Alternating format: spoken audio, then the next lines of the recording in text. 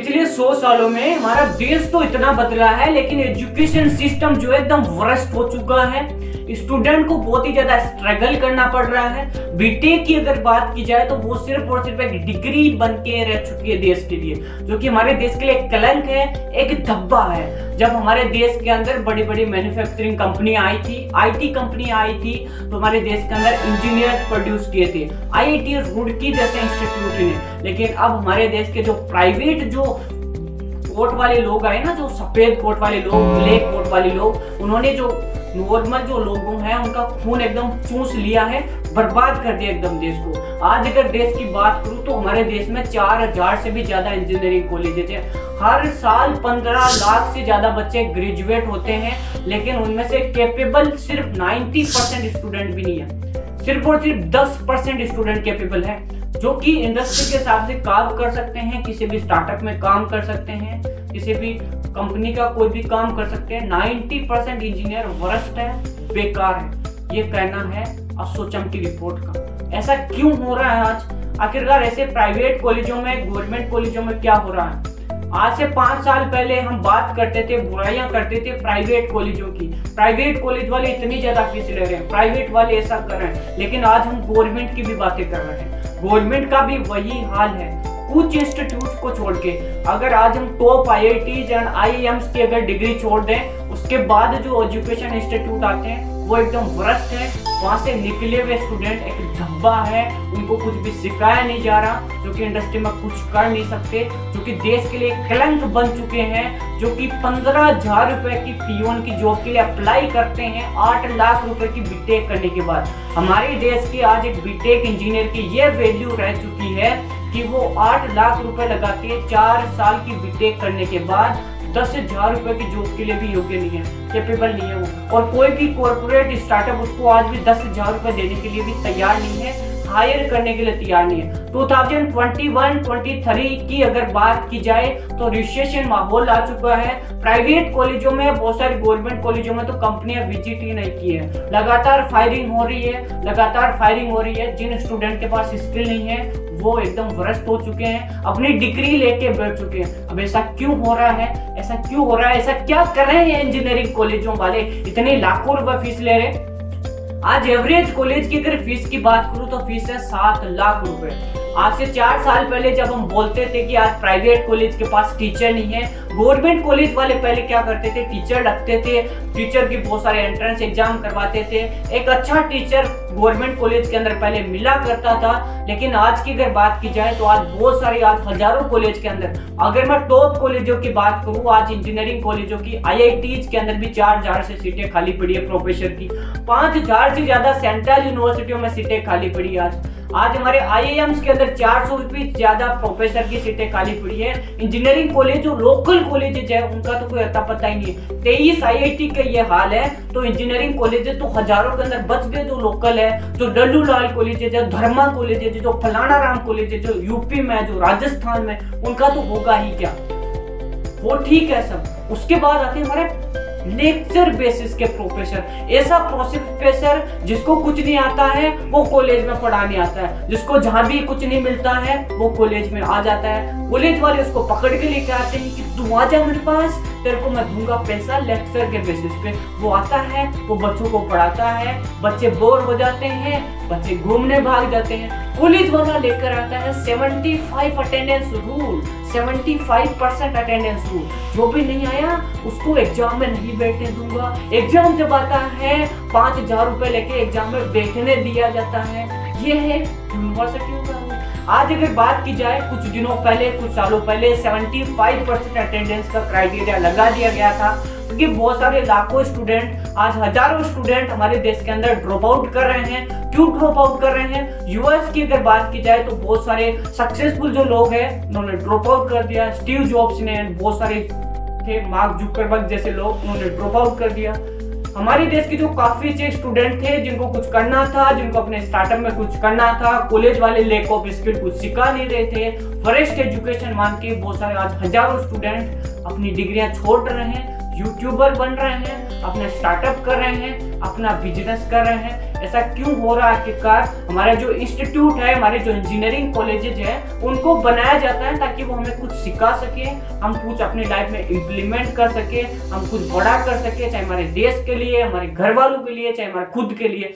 लेकिन आखिरकार ऐसी क्या वजह आ जाती है कि हमारे इंजीनियरिंग कॉलेज को हमें छोड़ना पड़ता है? हमारी जो डिग्री थी, एक जो सपना लेकर गए थे किसी भी कॉलेज के अंदर कि मैं सीखूँगा, मैं बनूँगा, उस सबको छोड़ दिया जाता है और हम जो है छोड़ देते हैं सारा सिस्टम ऐसा क्यों? वाई अगर बात करूँ प्राइवेट कॉलेजों की एंड गवर्नमेंट कॉलेजों की, ठीक है? सारे कॉलेजेज ऐसा नहीं है। आखिरकार बहुत सारे अच्छे अच्छे कॉलेजेज हैं जो कि स्किल्ड बेसिस कोर्सेज करवा रहे हैं। उनका इंडस्ट्री से काफ़ी अच्छा कोलिब्रेशन है।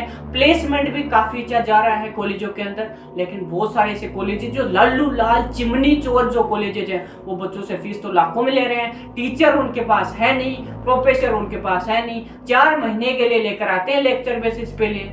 उस प्रोफेसर को कुछ नहीं आता। बच्चे बोर हो जाते हैं, बच्चे क्लास ही नहीं लगाते। हैं बच्चों की क्या गलती इसमें? जब बच्चों को कुछ सिखाया नहीं जाएगा, जब बच्चों का इंटरेस्ट ही नहीं होगा तो क्यों लेंगे वो क्लास चले जाएँगे छोड़ के। अपनी गर्लफ्रेंड के साथ बंक मार जाते हैं स्टार बक्स चले जाते हैं, घूमने चले जाते हैं, क्योंकि लाखों स्टूडेंट आज जेई में जैसे एग्ज़ाम तो क्रेक नहीं कर पाते। अदर अदर स्टेट में जाते हैं घर वाले पैसे भेजते रहते हैं, बच्चा स्टार बक्स जाता रहता है कैफ़े में घूमता रहता है। कौन से बच्चे आज आईआईटी जैसी कॉलेजों में घूम रहे हैं? आज सिर्फ़ देश में तेईस आईआईटी है। उसके बाद लल्लू लाल कॉलेज है। इनफैक्ट बहुत सारे एनआईटीज के भी यही हालात है, जहाँ पे बच्चों के प्लेसमेंट नहीं हो रहे हैं। बहुत सारी कंपनियाँ विज़िट ही नहीं कर रही। अगर कॉलेजों की अगर बात की जाए एडमिशन के टाइम पे परिवार को बताया जाता है पेरेंट्स को कि हमारे पास ये मशीन है, वो मशीन है, लेकिन वो मशीन कभी चला ही नहीं जाती है।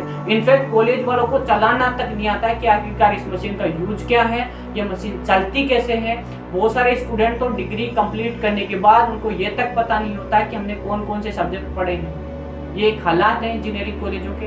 इंडस्ट्री के जैसा कुछ पढ़ाया ही नहीं जा रहा है कॉलेजों में, सिर्फ़ रट्टा मार कराया जा रहा है। अगर प्रोफेसर की बात करें तो प्रोफेसर लेब के अंदर ले जाके अटेंडेंस तो लगा देता है, लेकिन प्रोफेसर मशीन को कभी चलाता नहीं है, क्योंकि प्रोफेसर को चलाना आता नहीं है। लेब टेक्नीशियन को कॉलेज वालों ने रखा नहीं है, क्योंकि कॉलेज वालों के पास सैलरी नहीं है, क्योंकि प्रोफेसर तो लेक्चर बेसिस पे रखा गया, जो कि एक हमारे एजुकेशन सिस्टम का बहुत बड़ा फोयल है। गवर्नमेंट को इसके ऊपर एक्शन लेना चाहिए स्पेशली गवर्नमेंट कॉलेजों के अंदर भी काफ़ी बड़ा हालात बनता गया है। हालाँकि बहुत सारी न्यूज़ निकल के आ रही है, जिसके अंदर दिखाया गया कि आईआईटी जैसे इंस्टीट्यूट के अंदर प्रोफेशन नहीं है तो आप लोग अंदाज़ा लगा सकते हो कि लोकल इंजीनियरिंग कॉलेजों का क्या हालात हो रखा होगा। 92 परसेंट लिटरेसी तो एसोचम के हिसाब से लिखी गई है हमारे पेपर के ऊपर, लेकिन रियल के अंदर नहीं है। रियल में बच्चों के पास स्किल नहीं है। क्योंकि सिखाया नहीं जाता, क्योंकि मशीनें चलाई नहीं जाती, क्योंकि मशीनें है ही नहीं चलाए कहाँ से। लेकिन प्राइवेट वाले इसका फ़ायदा उठा रहे बहुत सारी बड़ी बड़ी एजेंसी जाती है कॉलेजों के अंदर। एजेंसी जाती है, भाई, हमारा छह महीने का कोर्स कर लो प्लेसमेंट हो जाएगा। बड़ी बड़ी कंपनियों में एयरटेक कंपनी आई का बूम है आर्टिफिशियल इंटेलिजेंस का बूम है। मेरा एक कोर्स कर लो, निकलवा दूँगा। छह एल का पैकेज जब प्लेसमेंट हो जाए, पैसा दे देना। बच्चे जाते हैं, भैया, ठीक है। छह महीने का कोर्स करते हैं, बच्चे चले जाते हैं। बहुत सारों का हो जाता है। लेकिन ऐसा क्या गलती है कॉलेजों में कि वो जो छह महीने के अंदर चार साल से भी ज़्यादा वो इंस्टीट्यूट करवा दे रहा है, बच्चों को प्लेस्ड कर दे रहा है और चार साल के अंदर भी इंजीनियरिंग कॉलेज नहीं सिखा पा रहा इतना बड़ा कैंपस इतनी सारी मशीनें आठ आठ लाख रुपए ले रहा है कॉलेज आखिरकार क्यों नहीं सिखा पा रहा है? आखिरकार क्यों प्रोफेसर अच्छे नहीं है उसके पास? क्या सारे रीजन है? वाई सेवेंटी की क्राइटेरिया क्यों लगाया जा रहा है फिर? जब स्टूडेंट को अपने दम पर ही कुछ करना है तो 75 परसेंटेज का क्राइटेरिया लगाया ही क्यों गया? ये इसी कारण से लगाया गया था, क्योंकि बच्चों का इंटरेस्ट आ ही नहीं रहा था। कॉलेज वालों ने सोचा, ठीक है 75 परसेंट का क्राइटेरिया लगा दूँ। हालाँकि बहुत सारे ओपन कॉलेजेस हैं, जो कि बहुत अच्छा परफॉर्म कर रहे हैं, उन्होंने इस क्राइटेरिया को उठाया भी है। उन्होंने कहा, भैया, जिनको जो करना है, वो करो, जिनको जो अच्छा करना है, वो करो। लेकिन ये लल्लू लाल कॉलेजेस क्या करेंगे? वो सिर्फ़ बच्चों को बाँध के रखना चाहते हैं, ना खुद करवाते हैं, ना बच्चों को कुछ करने देते हैं। आज हमारे देश के हालात बहुत ही ज़्यादा खराब है। मैं सभी टीम से रिक्वेस्ट करना चाहता हूँ, बच्चों से रिक्वेस्ट करता हूँ स्किल पे सबसे ज़्यादा फोकस करिए।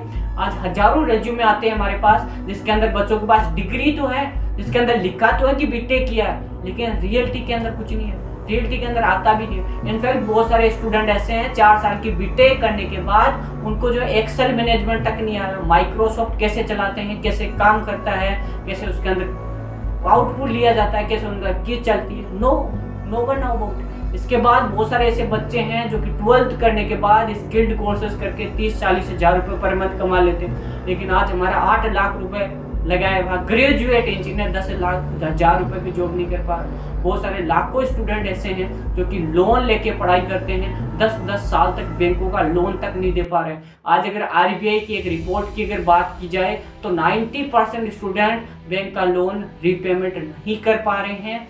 ये एक फोल है बीटेक लल्लू लाल इंजीनियरिंग कॉलेजों जैसा का। तो आप सभी लोग जो है इंजीनियरिंग चूज़ करते टाइम बहुत अच्छे से ध्यान रखें कि आखिरकार आप लोगों के साथ क्या होने वाला है। और पेरेंट्स से एक रिक्वेस्ट करना चाहूँगा, वो अपने बच्चों का ध्यान रखें। वो अपने बच्चों का ध्यान रखें कि आखिरकार हमारा बच्चा क्या कर रहा है, क्या नहीं कर रहा। थैंक यू सो मच इसी के साथ मैं